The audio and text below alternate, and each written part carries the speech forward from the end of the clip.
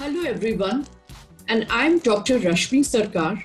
I'm a senior professor in dermatology from New Delhi, and my special area of interest is pigmentary disorders, especially hyperpigmentation. So, today I'm going to talk to you about something very relevant, and that is what is cosmetic camouflage? Cosmetic camouflage advantages and comparison with other treatment options. Well, once again, I'd like to thank our technical partner, that is DocMode, and they have brought it with an educational grant given by Zydus for having these kind of educational videos.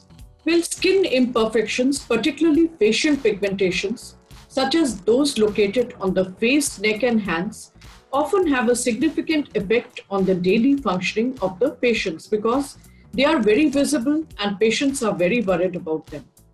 We have seen in clinical practice patients reporting with poor body image and decrease in self confidence. This is more in people post teens, that is, even the younger men and the younger women. Treatment of pigmentation conditions like melasma, acne, psoriasis, vitiligo, and rosacea actually require perseverance because these are very visible diseases. But patients demand instant results. So this is where we have to be very careful, very cautious. Often topical prescription medications intended to lighten the darkened skin take a minimum of three months to produce clinically accepted results.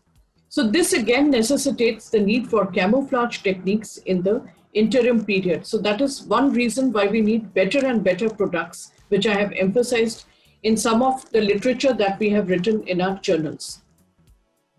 Now, cosmetic camouflage is a technique that uses makeup to conceal disfiguring skin lesions immediately. So it could also be a kind of a therapeutic makeup with the intention of normalizing the appearance of the skin. So it involves systematic use of specialized products, and these could include cover creams, liquids, and powders to disguise the visibly affected areas.